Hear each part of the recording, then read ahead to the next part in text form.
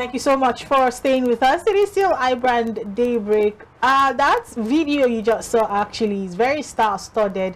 Uh, but of course, uh, the major focus for us this morning is our own Mayowa Ibidapo Amand. Hi, Mayowa. Good morning. Very fine. It's been long they called me Dabim. Anyone who calls me Mayowa mm. must either be a family member or a very Oh, you did friend. not know? They didn't tell you? No, and your third cousin from your father's side? I don't know.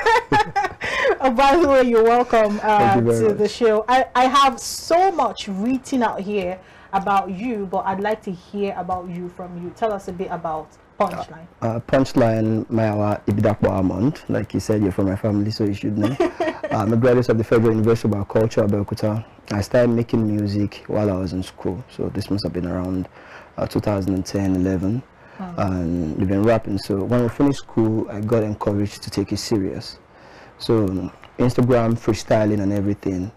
Um, I think I did that for a couple of months. Then I did um, a cover of One Hit uh -huh. by Kobam Sasuko, which he really liked. Then he called me. Then we did like an official remix of the song, which I did a video for.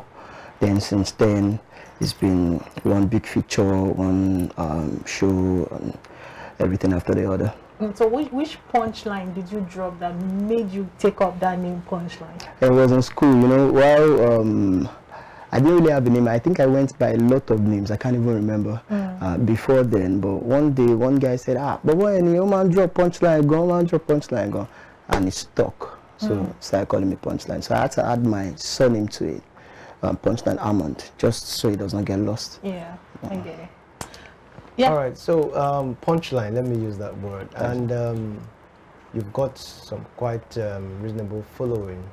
And um, what has been that thing that has stuck your fans to you? I think it's me staying true to my craft. I think over the years that I've been in the industry, different styles coming. Right now it's Amapiano. Mm. Um, there was the Zanku time, there was the Shaku Shaku time.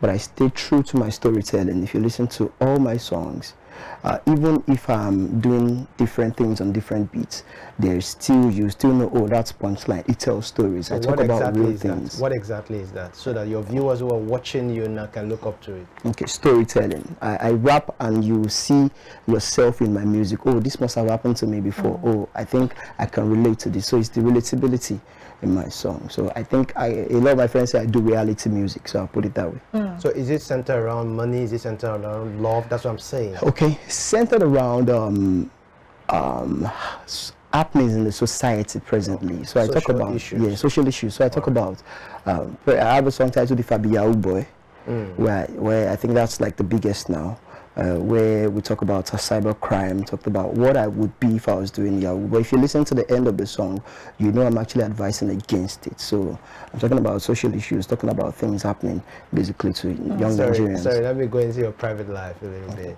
Mm. Do you have? Um, I don't have a girlfriend. No, no, I'm not saying. I'm, not, I'm not going into a relationship. I said let me go into your private life. Okay. So I'm looking at. All right, I want to clear that part. So, okay, fine. It's cleared. It, it's given. I'm looking at your close circles. Okay. When I say let me go into your private life, I'm looking at your close circles. Mm. Do you have mm. any friend of yours or mm. friends of yours who are into Yahoo? Yes, this is watching. No. Huh? Because for you to say that you did that song, that kind of title, if I be Yahoo, but yeah. what would have influenced that decision? I, I necessarily do not have um, to have friends. Um, if you if you go online, uh, I think I wrote that song in 2019. I didn't release it until lately, but I wrote okay. it in 2019 where we had that uh, Invictus issue. Oh, okay. uh, because a line in the song was, uh, waiting now when they carry my face, they find for Forbes. Mm. If I be a old boy, like it, it went like um, I'm not going to find attention. Uh, common city people, you know, go see me on top. Waiting when they carry my face, they find for Forbes.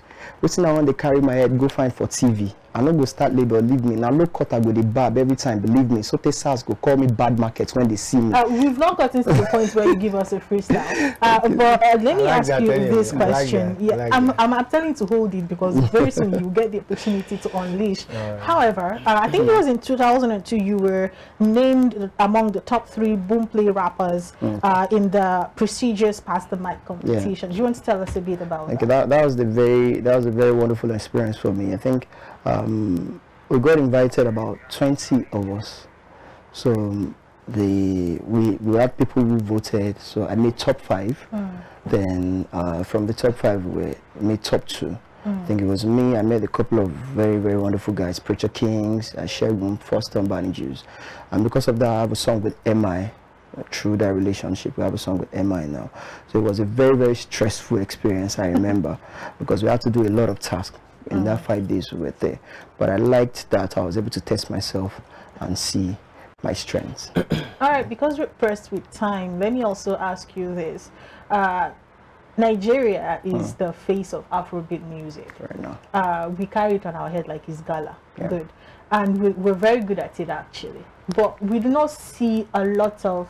Uh, there was a time when it looked like we'd be directing in the direction, uh, we'd be driving in the re- direction of rap. That was when we had the Vector, them, the MIs, Um, grains they were like the, the thing happening in the music industry at the time but that, over a period of time it's more like they i don't want to say phased away because they're still out there making great Yeah, music making- that we enjoy. but we have more of these young people who are putting out the afro beats mixing it up with everything else but still making great music and then one of their daddies came out one time and said that rappers in Nigeria are joke are jokers. You understand? And you know, the at the place at which rap music is right now in Nigeria, how do you react to that statement? And do you think that rappers get, you know, the accolades that they deserve in the country? I think at that point, that statement was really needed. Mm-hmm. Because a lot of people were losing their direction, true. And people were getting distracted because of the buzz Afrobeat was getting. Mm. And they were singing. So I think it was M.I. Abaga's song. And I think that drove a lot of people to get back to make rap music. But what I think we should do as rappers is to stick to our stories. We can't do it the same way Americans are doing it. Hmm. If you are going to be the new Wizkid, for example, you're definitely always going to be under Wizkid. So we have to tell our own stories, use our own beats, do it in our own way, so the world will see, okay, this is how Nigerian rap is. Hmm.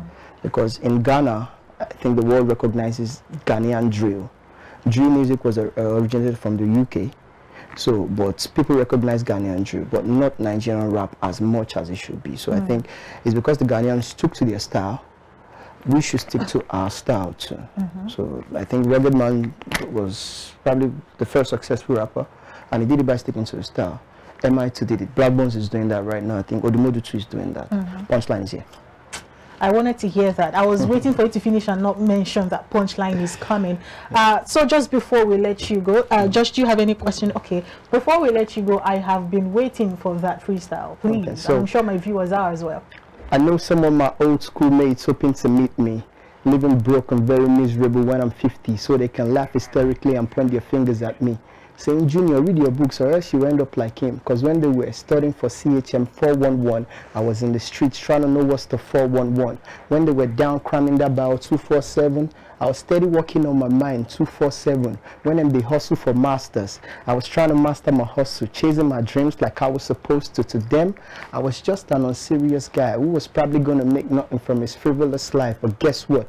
Three years past, the boy is chilling in the studio with iBrand trying to make this million, while half of those guys are either broke or unemployed, and the other half are jobs that they don't enjoy. See, I'm not trying to laugh at them, I was raised better. My point is, first class don't mean you make cheddar. Whatever opportunity you have, just take it. And somebody please tell Professor Bangbushi that I made it. A round of applause, please.